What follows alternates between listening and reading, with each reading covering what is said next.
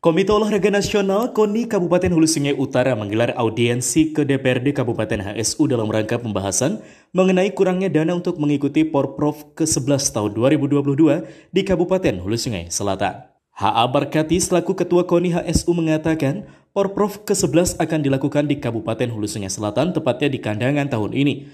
Meskipun masih terkendala kurangnya dana persiapan mengikuti event tersebut, namun pihak KONI tetap semangat untuk mengikutinya.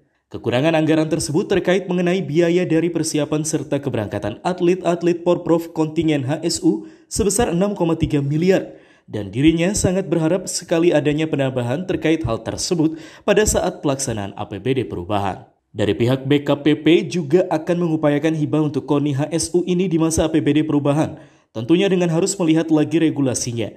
Dan yang jelas komitmen pemerintah daerah untuk mendukung olahraga di HSU begitu besar, Apalagi cabang olahraga di HSU memiliki prestasi yang dari tahun ke tahun meningkat, perlu didukung. Untuk menghadapi kandangan ini sebenarnya waktu di Tabalong itu kita masih memberangkatkan apa karena cabang berangkat mereka.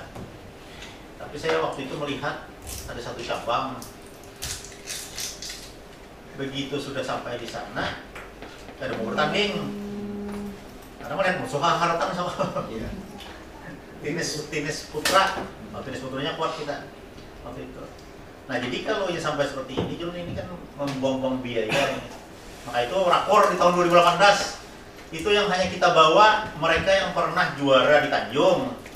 Dan mereka yang pernah juara di tingkat Kalimantan Selatan bukan kabupaten bukan uh, regional apa kan jadi Kalimantan Selatan soknya atau nasional. Itu pernah juara satu dua tiga empat dia pernah juara satu tiga empat. Baru kita bawa bisa bawa kandangan kita bawa kandangan jadi hasil rakor 2018 itu nah dari jumlah yang tadi itu cuma cabang-cabang yang baru bergabung ini sekalinya langsung punya prestasi. Taekwondo tangkyo aero modeling game online. Game online itu langsung nomor satu tandingan di Universitas Purnam Banjar Jadi uh, Bang Tai juga juara, lagi kita kirim untuk pelatihan ke Bali.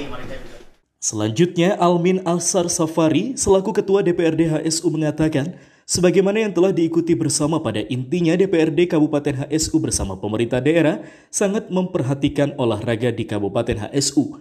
Dengan harapan bersama bisa diwujudkan dengan persiapan untuk keikutsertaan atlet pada Porprov 2022 di Kabupaten HSS. Oleh karena itu, pihaknya akan lebih intens membahas ini di rapat anggaran bersama pemerintah daerah dan DPRD yang hadir. Insya Allah akan selalu mengingatkan pemerintah daerah agar ini bisa diperjuangkan supaya prestasi-prestasi yang sudah kita dapatkan. DPRD Kabupaten Hulu Sungai Utara bersama pemerintah daerah ini eh, sangat memperhatikan olahraga di Kabupaten Pulusan Utara. Mudah-mudahan ini harapan kita bersama uh, bisa kita wujudkan dengan uh, persiapan untuk keikutsertaan para atlet kita di Porprov 2022 di Kabupaten Hulu Sungai Selatan.